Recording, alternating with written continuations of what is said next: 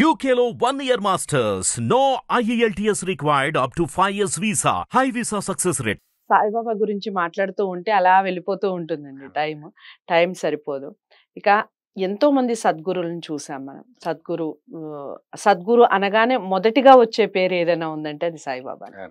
సద్గురువులు ఉన్నప్పటికీ సద్గురు సాయిబాబా అనే మాటనే వస్తుంది మొదటిగా. కారణం ఏంటంటారు అసలు ఆయన సద్గురు కావడానికి ఎందుకు అయ్యారు సద్గురు చెప్పండి సత్ గురువు అండి. సత్ అంటే మంచి. గురువు సద్గురువు అంటే మంచి గురువు అని ఇక్కడ మంచి గురువు అనడానికి మన ఇండియన్ ఫిలాసఫీలో సత్యం శివం సుందరం అని మూడు మాటలు ఉన్నాయి సత్యం శివం సుందరం. These three values are eternal values in Indian idealism అన్నారు. ఐడియలిజం అంటే భావవాదము. భావవాదము అనేది ఒక మన యొక్క ఇజం మన. భారతీయుల ఇజం. భావవాదములో ఏమిటంటే ముఖ్యంగా వస్తువు కన్నా చైతన్యం గొప్పది అని చెప్పారు అంటే ఇప్పుడు ఇక్కడ ఒక చెయ్యి ఉంది అంటే ఈ చెయ్యిని ఇలా నేను తిప్పుతున్నాను అంటే దీని వెనుక ఒక శక్తి ఉంది. కాబట్టి పదార్థం ఉందా? శక్తి ఉందా? అంటే శక్తి ముందు. కాబట్టి బాబాను ఫస్ట్ ఏంటంటే సత్యం. సత్యం అంటే ట్రూత్. ట్రూత్ అంటే సత్య ట్రూత్ ఏమన్నాడు బాబా? సత్యాన్ని అంటిపెట్టుకో అంటాడు. ఉమ్, సత్య స్వరూపుడమ్మ సాయినాథుడు నిత్య నిర్మలుడమ్మ సాయినాథుడు అఖిలాండ కోటి బ్రహ్మాండ నాయకుడు ఆది మధ్యంతరహితుడు సాయినాథుడు సాయినాథుడు సిడి దేవుడు అని రాశాను ఒక పాటలో. ఉమ్, ఇక్కడ ఏంటంటే సత్యస్వరూపుడు సత్యాన్ని అంటిపెట్టుకో అన్నాడు బాబా. సత్యము అంటే ట్రూత్. శివం అంటే మంచితనం. మంచితనం. సుందరం అంటే బ్యూటీ. ఈ మూడు కలిసినటువంటి భావవాదం ఉంది కదా భావవాద ఇజములో మన. ఐడియలిజములో ఒక ఐడియల్ పర్సన్ మూడు కలిసిన ఐడియల్ పర్సన్ అంటే జగద్గురు ఎవరంటే షిరిడి సాయిబాబా. సత్యము ఉంది మంచితనము ఉంది సౌందర్యము ఉంది. ఆయన చూస్తేనే ఎంతో ఒక ఆనందం కలుగుతుంది అంతా అందుకే జగద్గురువులో ఆయన జగద్గురు ఎట్లా అయ్యాడంటే సత్యం శివం సుందరము ఏకరూపంలో ఉన్నటువంటి గురువు. ఆదిశక్తి స్వరూపుడు. ఆయన హిమాలయాల్లో తపస్సు చేసినటువంటి గురువే చెప్పాడు. అంటే మొత్తం శక్తి స్వరూపిణి. శక్తి ముఖ్యం. ఇక్కడ జడ పదార్థం మిగతా ప్రపంచం అంతా జడ పదార్థమే. కానీ శక్తి ఆ ప్రతి పదార్థం వెనుక శక్తి ఉంది. ఈ విశ్వం వెనుక శక్తి ఉంది. అందువల్ల విశ్వశక్తి స్వరూపుడు బాబా. అంతకు ముందు లేనటువంటి గురువులు చాలా మంది గురువులు ఒక అంశతో ఉంటారు. వాళ్ళందరినీ అంశ గురువులు అన్నారు. పరిపూర్ణ పరబ్రహ్మ స్వరూపం ఎవరంటే ఒక సాయిబాబానే అని సాయితత్వ పరిశోధకులు తేల్చారు. మీరు మిగిలినటువంటి గురువులంతా కూడా అంశ గురువులు. అవతారాలు గాని అంశాలు గాని గురువులు గాని వాళ్ళు ఒక పర్పస్ కోసం వస్తారు. వాళ్ళు ఒక సంప్రదాయాన్ని ఒక ఇప్పుడు కొన్ని ఆచారాలు వ్యవహారాలు ఇలా ఉండాలి ఇలా ఉండాలి అని ఆచార వ్యవహారాలు చేస్తూ ఆ జాతిని అలా నడిపిస్తారు ముందుకి. కానీ బాబా అలా కాదు. బాబా దగ్గర ఇలాగే ఉండాలి ఇలాగే ఉండాలి అనేది నియమం లేదు. ఇప్పుడు ఒక తల్లి ఉంటుందండి. పిల్లలకి ఏది ఇష్టమైతే అది తిననివ్వండి అంటారు. నిజమైన ప్రేమ ఉండే తల్లి. నిజమైన ప్రేమ ఉండే తల్లి వాళ్ళు అలా తినమన్నారు ఇలా తినమనక నువ్వు అలా తినక అన- అనదు. నీకు ఇష్టమైతే అమ్మా నేను ఇది నాకు స్వీట్ ఇష్టము లేదు నాకు చికెన్ ఇష్టము మటన్ ఇష్టం అంటే తిను అంటుంది. కాబట్టి బాబా అందుకే మటన్ చికెన్ వండి పెట్టాడు.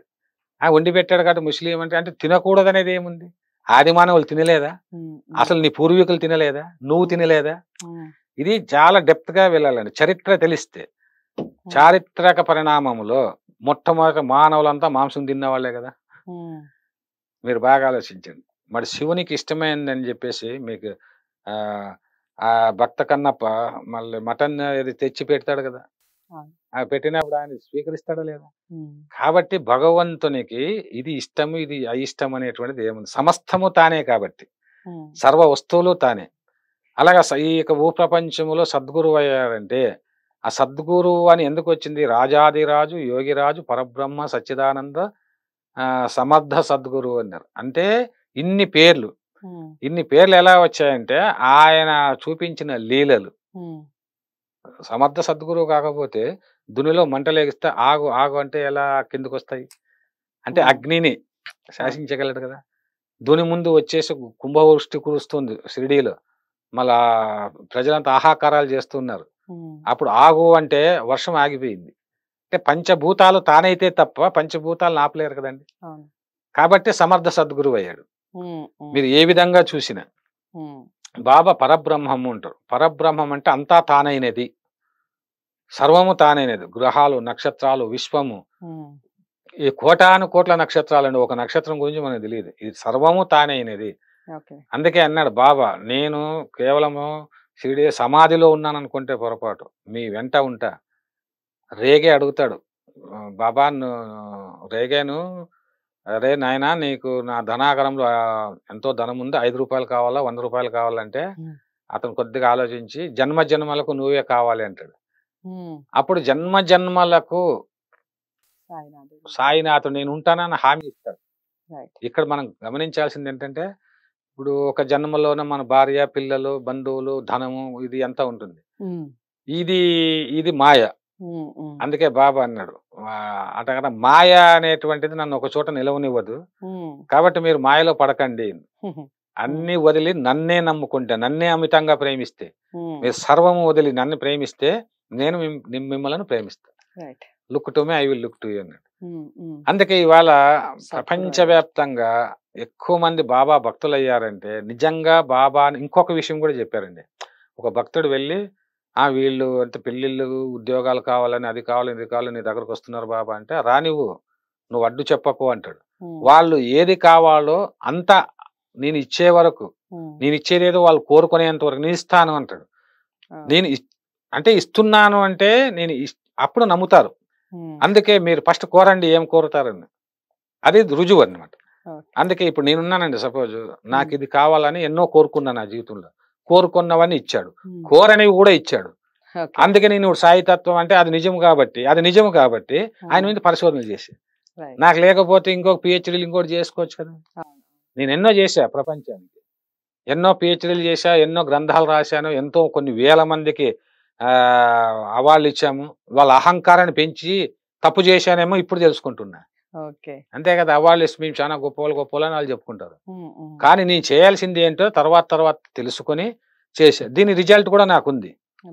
ఇప్పుడు మీరు సాయితత్వాన్ని గురించి ఇలా చేస్తున్నారంటే మీకే తెలుస్తుంది అనమాట అది అది అంటే ఒక సర్వజ్ఞుడు ఒక జగద్గురువు అపార ప్రేమ స్వరూపుడు.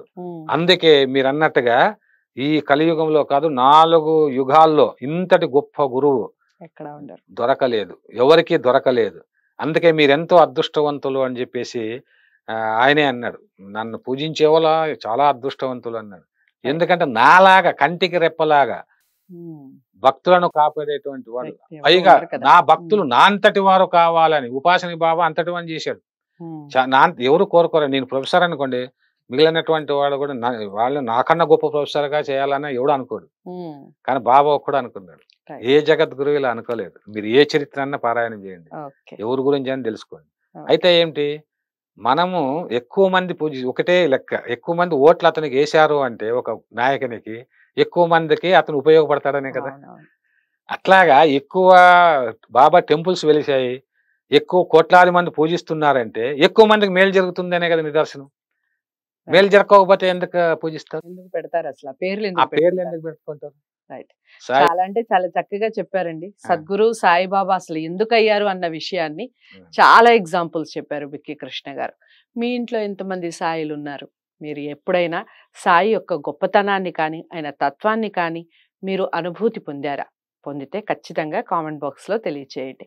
సాయికి సంబంధించిన మరింత సమాచారం నెక్స్ట్ ఎపిసోడ్లో తెలుసుకుందాం. వేషధారణ యొక్క విశిష్టత గురించి తెలుసుకుందాం.